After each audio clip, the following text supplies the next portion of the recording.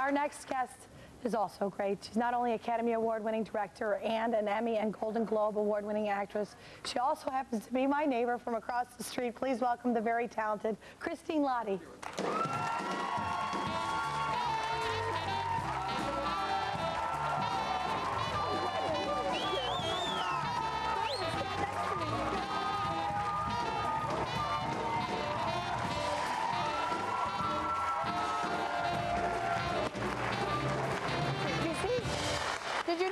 Quickly I sat down? I don't want to sit next to that body.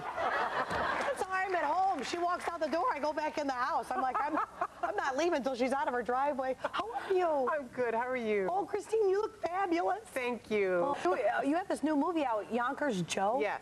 What can you tell us what it's about? Yeah, um, it's a movie about um, mechanics in a casino, and and they are. Um, it's this whole subculture underworld. Um, the uh, Chazz Palminteri plays Yonkers Joe. Oh, you get to work with him. yeah, That's he so was great. great. And Thomas Geary plays his uh, mentally challenged Down syndrome son, who. Uh, has to be kicked out of his home. He's 21 years old, so he kind of disrupts this guy's life, this kind of underworld life that And he we have this clip where you're talking to the son, correct? Yeah. Yeah, I like this clip. You're so sweet in it.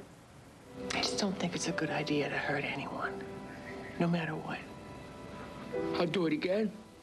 I'll do it again if they make me go to that place where no one comes back from. You know what?